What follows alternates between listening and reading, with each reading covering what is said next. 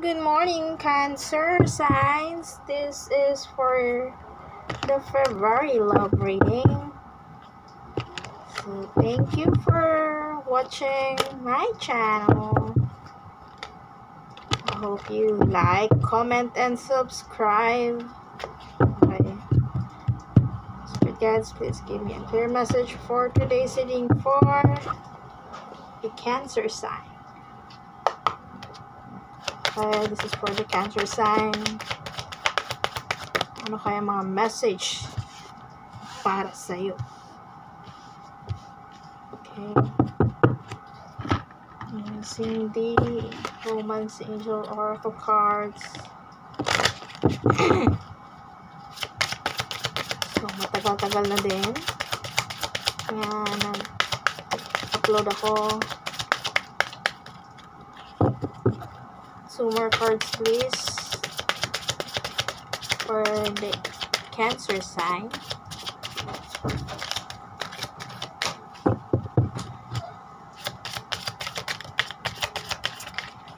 Okay, thank you. Ito na lang. And then, last one. We have the Goddess Guidance.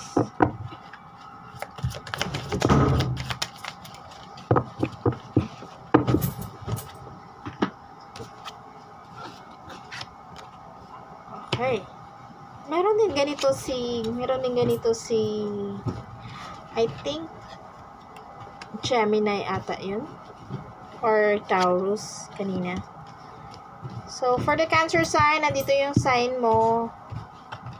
So, first, we have for a message for the Oracle Angels, we have the romantic feelings. Your feelings are real and worth exploring.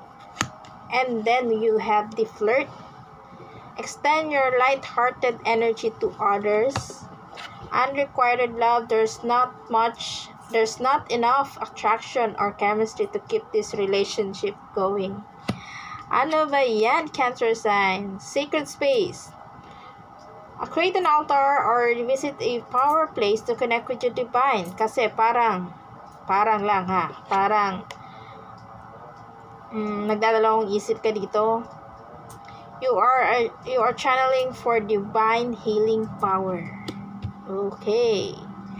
So you also have the Scorpio sign here, or Death and Cancer sign. Um, I think you are going to a transformation, car- Cancer sign.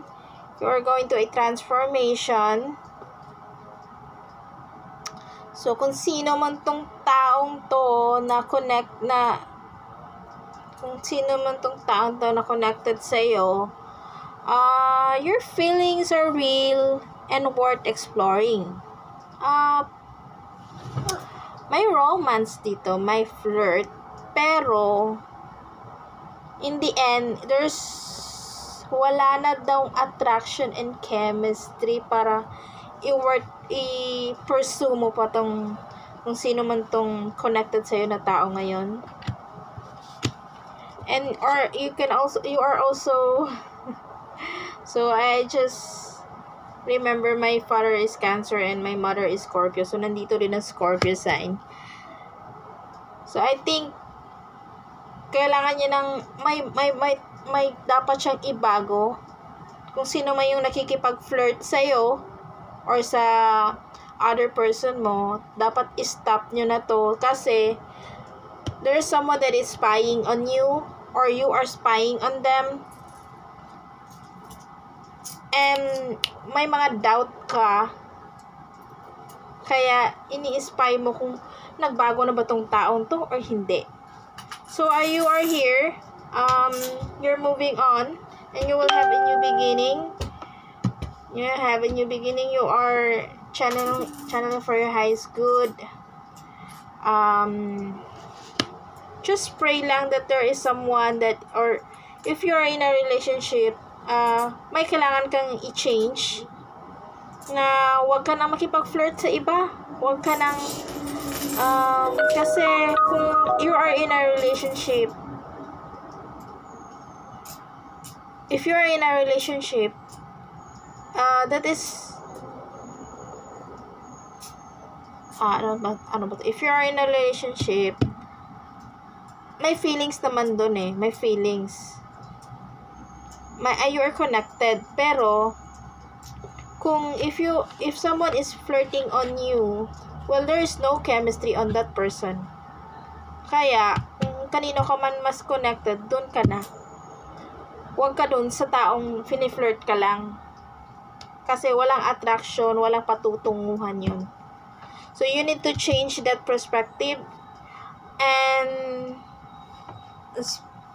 if, if may doubt ka, you spy, uh, and steady ka lang dito eh. Steady ka lang dito. So, I think hindi naman siya ganun ka hindi naman siya ganun ka negative pero wag ka lang magpa magpadala sa mga taong nagfo-flirt lang or ikaw mang baka ikaw yung nagfo-flirt wag no kasi you are divine are you are channel for divine healing power and kung may gusto kang tao go with a person na gusto ka talagang uh, gusto ka talagang uh, pakasalan yun Okay, thank you. Cancer sign.